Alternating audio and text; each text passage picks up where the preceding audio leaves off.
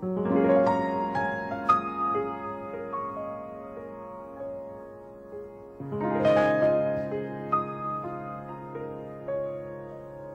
mist floats in the wind, sometimes thick, sometimes gauzy. It winds around Taiwan beech trees. Summer is not just a period of time, it is a state of being.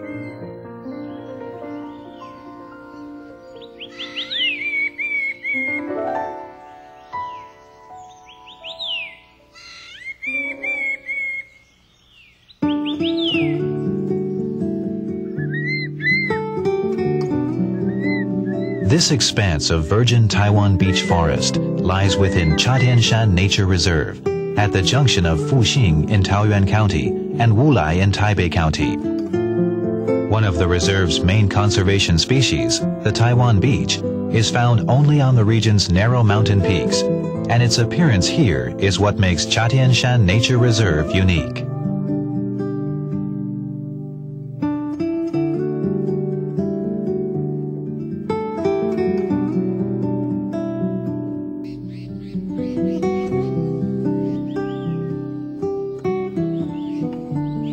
Originally widely distributed in temperate areas in the northern hemisphere, the Taiwan beech spread to Taiwan at the end of the last ice age.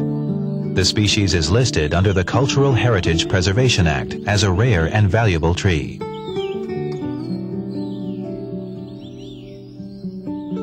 The Taiwan beech is deciduous. It changes face with the seasons. In spring, bare branches burst into life with new leaves. By the summer, the mountains have turned green under its lush foliage. In the fall, the leaves turn gold, creating the richly colored tapestry of temperate autumnal scenes. By winter, the leaves have fallen and gnarled beech branches appear starkly nude. This cyclical aging process transforms individual beech trees as well as the whole forest. In addition to interference by trekkers, the Taiwan beech faces several other problems. It is a relic species. In other words, its reproductive capacity is weak, and its ability to spread is not particularly strong. According to reproductive research, we know that the Taiwan beech does not produce many seeds, very few at all. So a grave question mark hangs above the long-term survival of the population at Chatianshan. Professor O, who is an expert on the species, is also worried that, in their eagerness to get close to nature, members of the public are damaging the forest unwittingly as they trek there. For instance, by treading around the exposed tree roots and diminishing soil aeration by reducing gas and water permeability. This is jeopardizing the survival of these forest plants. To remedy this, the Hsinchu District Office of the Forestry Bureau built a 3,700 meter long visitor trail through the giant cypresses within Lalashan Forest Reserve on the southwestern side of Chatian Nature Reserve for visitors to see Taiwan's ancient trees. 22 giant trees along the trail have been listed and marked with interpretation signs. The walkway allows the public to come and look without trampling on and damaging the root systems and young shoots.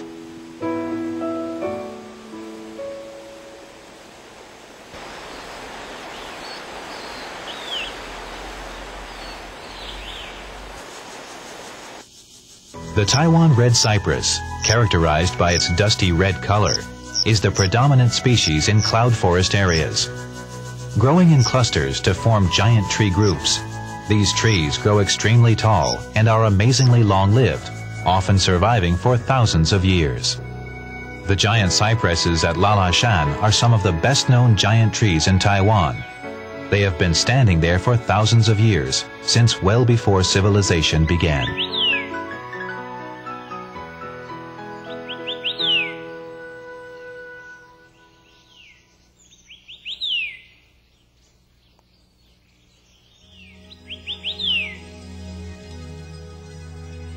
Besides the beeches and cypresses, the reserve boasts an unusual range of flora due to its unique geographic and climatic location at the meeting point of the northeastern monsoon and currents coming from the southwest, and its isolated mountain peaks and abundant rainfall.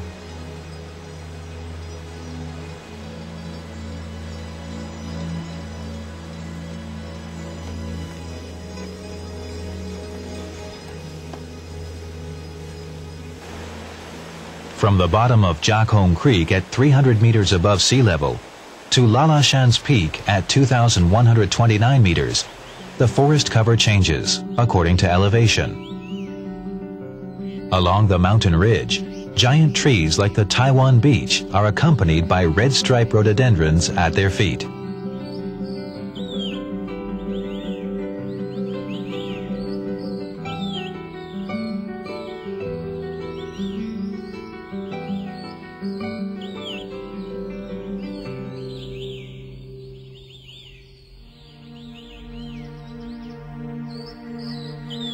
Then comes warm, temperate broadleaf mixed forest.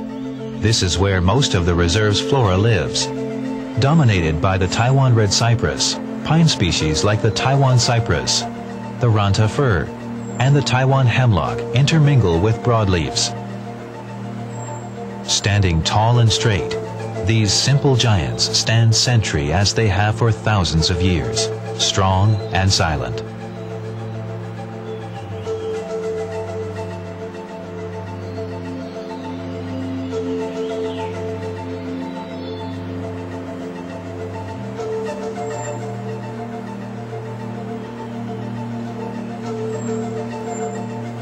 Chinese guger trees also share the sunlight at the top. These tall trees form groups and produce large white blossoms in July or August each year. Further down, the forest canopy is composed of Fagaceae species. Dominant evergreen species are Mori oak, the shuttlecock oak, and longleaf chinkapin. It is possible to determine which animals live in this part of the forest from the bite marks on the nuts that litter the ground.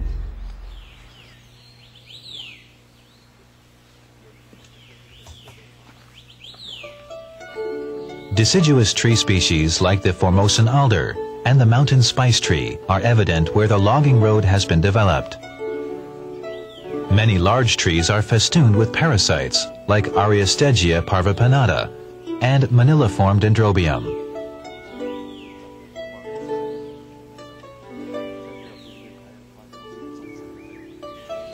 Between the trees are vine species like Integrifolius hydrangea and the Alishan magnolia vine.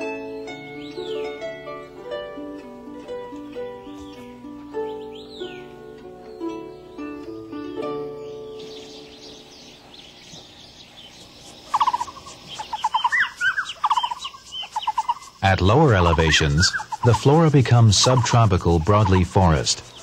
This is the home of the Lauraceae family, the fruit and flowers of which tend to be modest and easily missed. On approaching the river valley, the large-leaved nanmu is the most representative species. Milk trees are also often found here.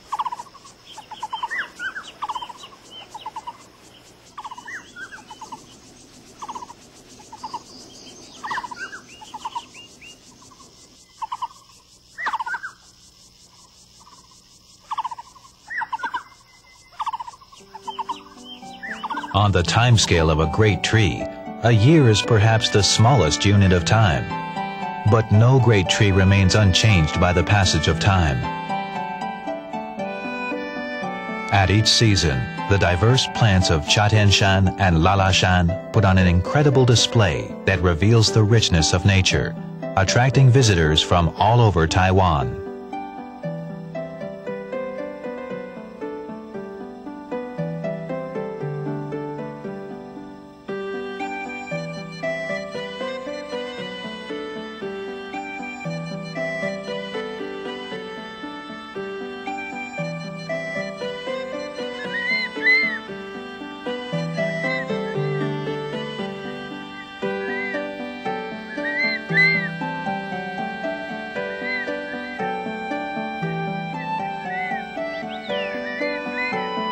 In early spring, the bright pink blossoms of the Taiwan cherry dominate the mountaintops, calling the sleepy forest awake and attracting flocks of tree babblers.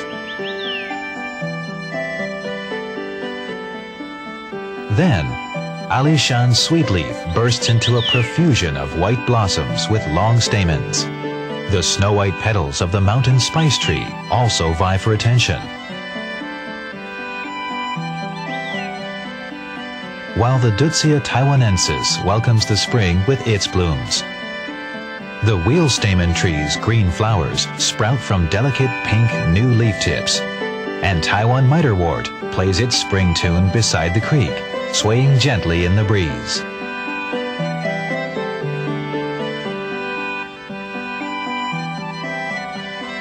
As the sunlight filters into the forest, even the somber pines add a splash of color to the green canopy. The old inky green needles of the Taiwan hemlock come to life with a layer of youthful lime green needles, which highlight last year's mature cones.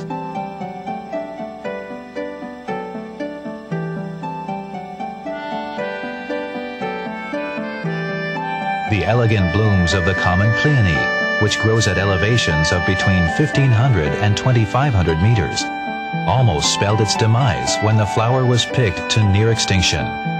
Now the species flourishes on the stone cliffs of Chatianshan Nature Reserve. If you look closely, you will see that the inflorescence of the Alishan calanthe growing beside it is equally beautiful.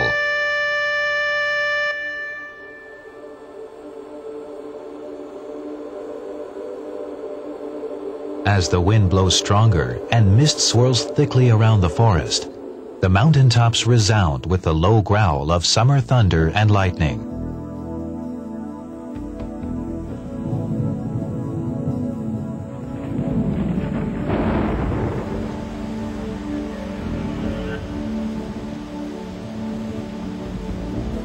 Then comes the rain, and within the blinking of an eye, the cloudburst soaks the forest floor.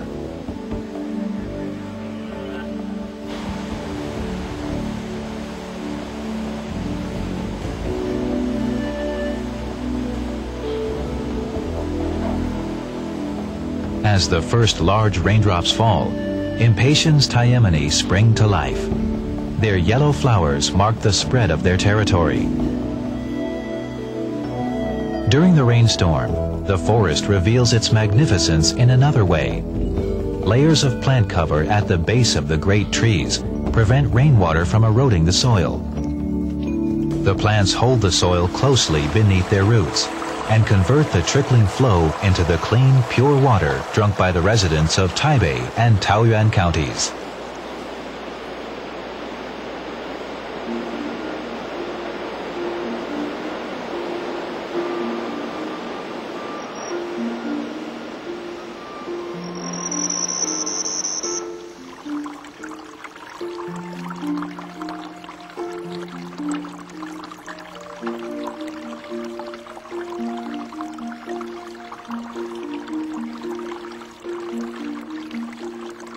After the rain, all the little seedlings push their way out of the earth for a rare glimpse of sunshine. Only the poisonous, many-flowered mayapple, which is known as an antidote for snake bites, shrinks back in the dank underbelly of the forest.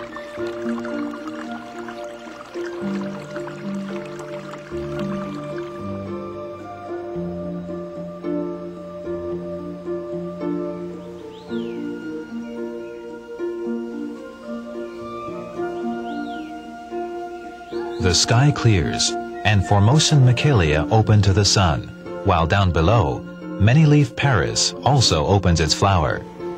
The Himalayan Stachyurus's strings of green berries and the wild cherry's bright red fruit, ripe and glistening like rubies, attract wild birds.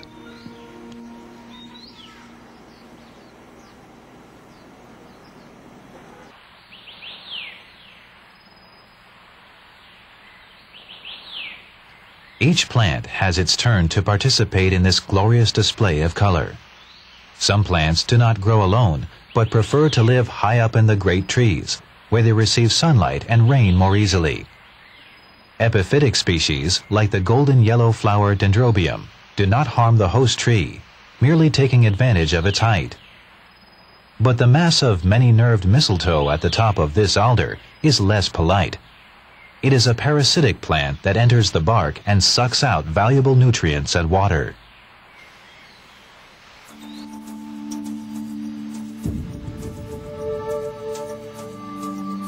Compared to the longevity of the Taiwan red cypress, the lives of the Usnea longissima hanging from the branches, the lichen coating the rocks, and the fungi growing on rotted tree stumps seem transient.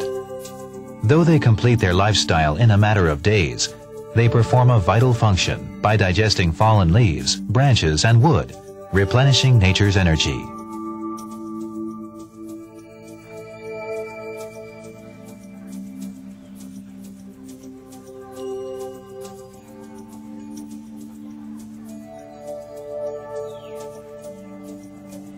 In this flurry of growth, silently, and without anyone but the forest noticing, Autumn leaves her visiting card again.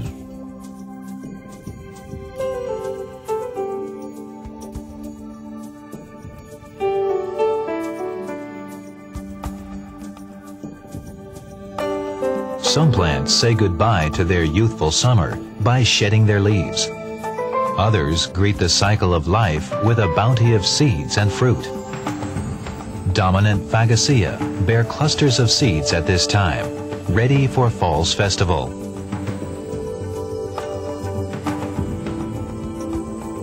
This bounteous harvest would be incomplete without the many-seed Idesia. Its leaves fall away to give room to a mass of bright red berries which await dissemination by vivid Niltava and other carrier birds.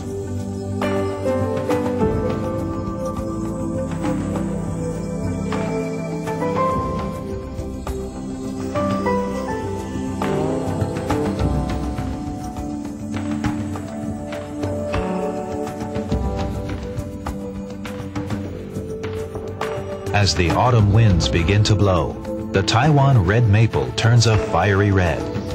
The green maple puts on its own display too, giving the forest a last cloak of color before the bleak, cold winter months.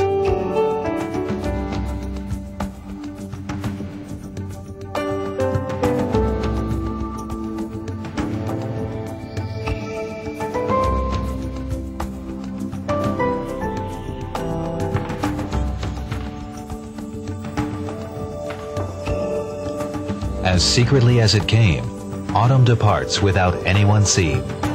Only the fallen leaves at the foot of the Taiwan beech dance knowingly in the wind.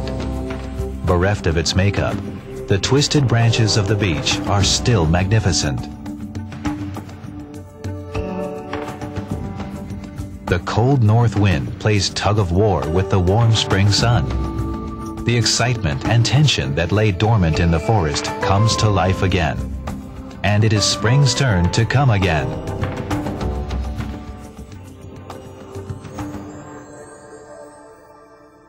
With the turn of the seasons, every organism plays its part in the process of biological succession.